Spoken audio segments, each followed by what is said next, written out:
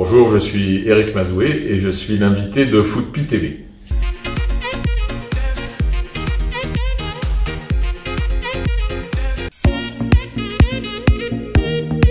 Ben, c'est compliqué. C'est compliqué, je pense, pour tout le monde.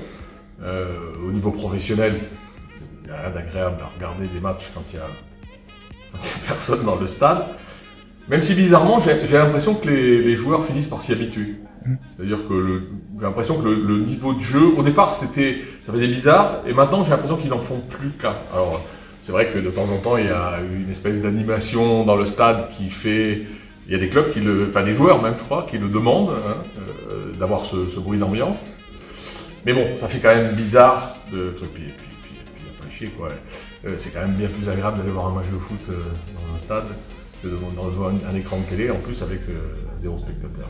Pour le foot amateur, bah, c'est la, vie des, clubs, la vie des quartiers, la vie des villages, tout ça, ça, tombe. Et, ce qui me fait peur, c'est est-ce que cette, dynamique euh, qui, a disparu sera facile à, remettre en, à en ben, l'activité, euh, cette activité du samedi soir, du dimanche, qui fait qui fait bosser des bénévoles, qui, qui donne du plaisir aussi aux joueurs, parce que il y a leur plaisir à eux. Je suis pas sûr que ça, ça sera facile à, relancer.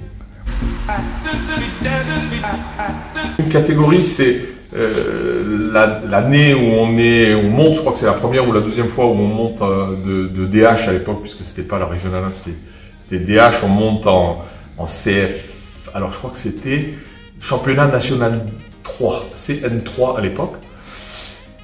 Et euh, dans la poule, on était dans une poule sud-est, donc euh, Corse, euh, Marseille, banlieue de Marseille, enfin tout ce qu'on a quoi, Nîmes.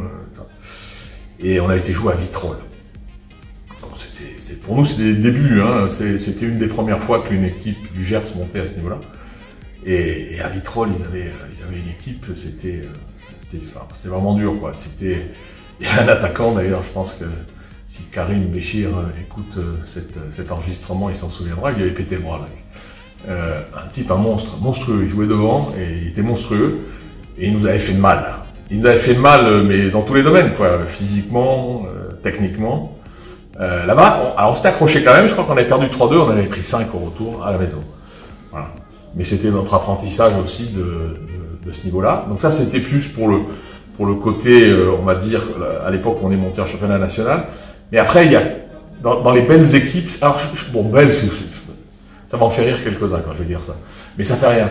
Euh, moi, il y a, dans, les souvenirs que j'ai de ces, rencontres-là, c'est les rencontres qu'on avait avec Florence, parce que à l'époque c'était les derbies, euh, on était, enfin moi quand j'ai commencé à entraîner, on était pratiquement au même niveau, même si eux étaient un peu en avance sur nous. Mais ça reste des rencontres extraordinaires parce que parce que c'était engagé, parce que c'était viril. Je pense que si on a vu un arbitrage comme il y a aujourd'hui, il restait plus grand monde sur le terrain à la fin du match, mais bon, peu importe. Euh, c'était viril, mais on serrait la main et puis on est resté. Enfin, moi, j'ai des amis maintenant euh, avec eux, avec qui je discute souvent. Puis euh, Ilaria, par exemple, euh, qui était l'entraîneur de l'époque, on, on, se côtoie et, et avec grand plaisir aujourd'hui. J'ai intérêt à dire les parce que si j'en dis qu'un, voilà, je vais me faire étrangler là aussi.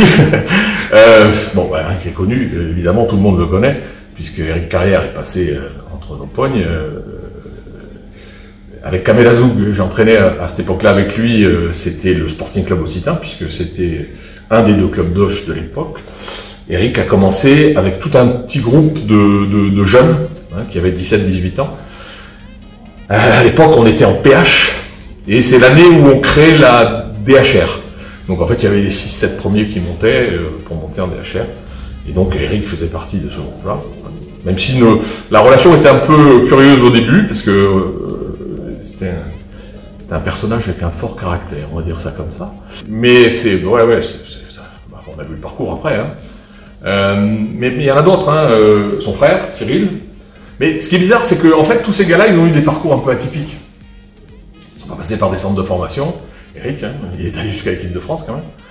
Euh, Cyril est allé jusqu'en D2, euh, mais en franchissant des, étapes. Quoi, en fait, hein, il passait par, euh, il passait par Albi, il passait par Grenoble.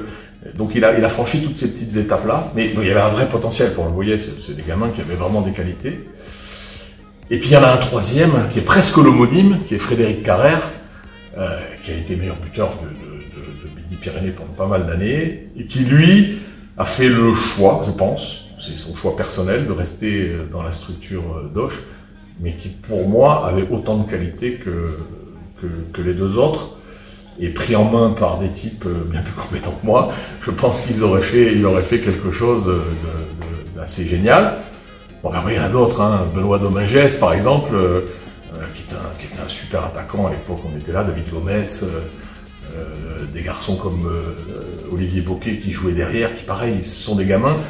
Toute une génération, et ça c'était vachement intéressant, c'est qu'à à cette époque-là, on, a eu toute une génération qui est arrivée pratiquement en même temps, auquel on a collé quelques éléments extérieurs euh, sur lesquels on avait un peu de moyens pour pouvoir aller les chercher et, assembler tout ça, ça faisait des types qui, pouvaient jouer, euh, qui pouvaient jouer un bon, euh, qui pouvaient jouer à un bon niveau.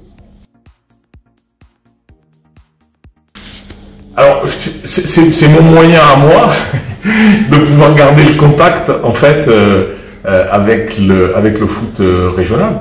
Euh, moi, il y a un truc que je que je que je sur lequel je suis friand, c'est les résultats, évidemment. Alors avant, il fallait acheter la dépêche le dimanche matin.